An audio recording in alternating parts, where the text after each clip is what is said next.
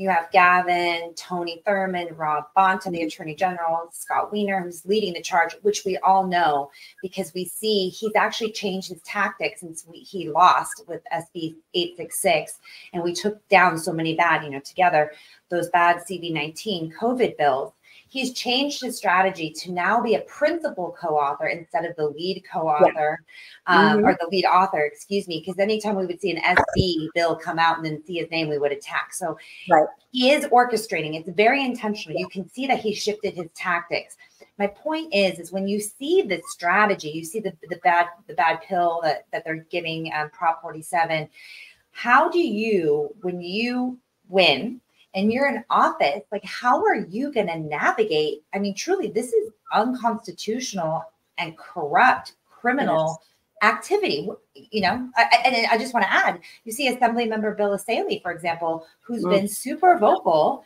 and mm-hmm. they stripped him of his titles, removed him from committees, removed his funding. Like, nice. what are you going to do to be effective when you win? Well, you know, I think it.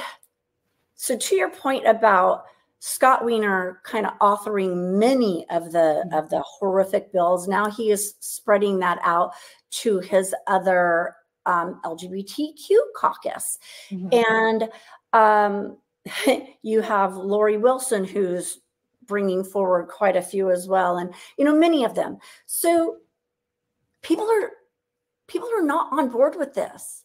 We have a chance to make change we voted them, these individuals, in the first time, and we see that they're not representing we the people. We need more representatives, more people running who represent we the people as a whole.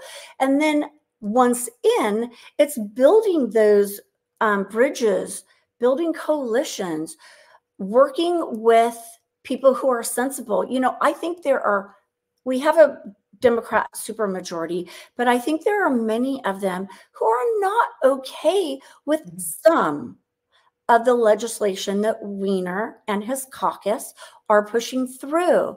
So, you know, I, I, um, Senator Eggman was on the Senate floor a few weeks ago regarding SB 1414. And oh my gosh, I was like, thank you thank you for supporting Senator Shannon Grove SB 1414 because no, we selling children on for sex should be a felony. Mm-hmm. Senator Grove got them for um, I'm sorry, I mean, let me take that, that back. Buying children for right. sex right. should be a felony. She was able to get through SB 14 last year, which made selling children for sex a felony. I was in that Senate hearing, right. um, public safety Senate hearing with mm-hmm. Wahab, Skinner, and and Wiener, and you. I heard the testimony of these young ladies who were in trafficking rings who couldn't get out. One of their one of the girls' sisters died. It was horrific and gut wrenching. And now you have Wiener Skinner and Wahab and many others saying, no, it's okay.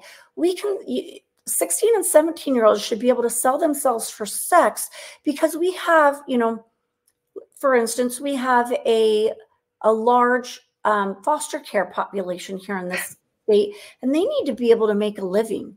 Right. No, it's it's exactly what you talked about. Are you kidding me? Those are exactly vulnerable. Yeah. Our most vulnerable children who don't have parents to protect them, to speak up to them, for them to defend them, they have to resort to selling themselves for sex on the street. That's well, enough. It's That's it's enough. exactly I know, and it's exactly what you talked about. It's like instead of addressing the underlying issue, we're gonna put we're gonna triage it and just put a band-aid on it. And when they do that, instead of uh, addressing why there are so many foster care children, mm. because of the attack on the nuclear family or because the cost of living or because we you know the sexual revolution or whatever is because of the attack on the african american community instead of addressing those we're going to put a band-aid and that right. band-aid actually makes it worse